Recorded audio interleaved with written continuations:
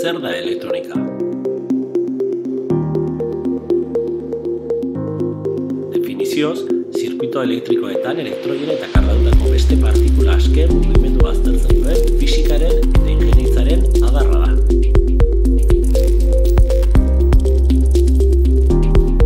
Baina posible izango litzateke gaur egun ezagutzen duzu mundua elektronikari gabe?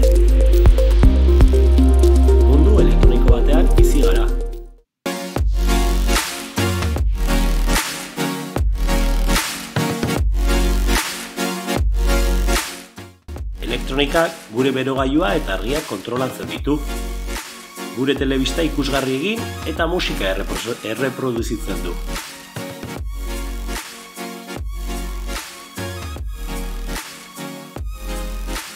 Gure enpresetan beharrezkoak diren robotak kontrolatzen ditu. Gure garraioak martxan ibiltzea ahalbidetzen du.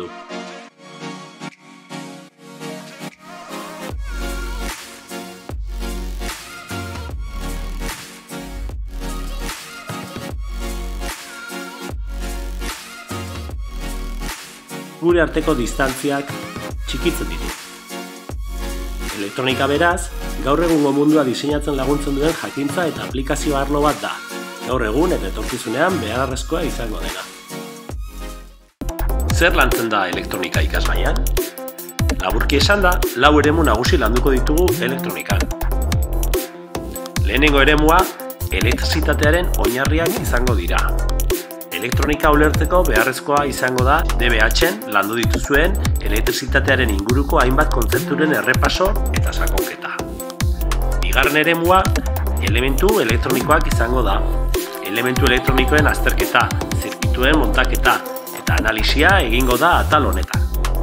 Hirugarren eremua, seinale motak izango da. Bertan, analogikoa eta digitala, kode ezberdinak, atelogikoak, chip desberdinen azterketa eta montaketa, memoriaren funtzionamendua eta abar luze bat landuko dira. Eta bukatzeko, laugarren eremuan txartel programagarriak ikusiko ditugu. Ezagunak diren Arduino plaketan sakonduko dugu. Nola lan egingo dugu elektronika tailerrean? Ikasgai hau ia guztiz praktikoa da. Demonstrazioak egingo dira bai irakaslearen partetik, baita ikasle partetik ere elektrizitatea eta elektronikaren funtzionamendua ulertzeko. Praktikak eta ariketak egingo dira. Kalkuluak, neurketak, montai elektronikoak, simulazioak egin beharko dituzte ikasle elektronika gaia lantzeko. Arazo egoerak eta lanak.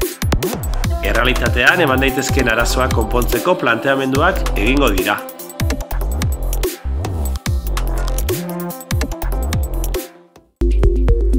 Orduan, zergatik elektronika? Elektronika, teknologia eta zientzia zoko badituzu, interesgarri esan daiteken ikasgaia da.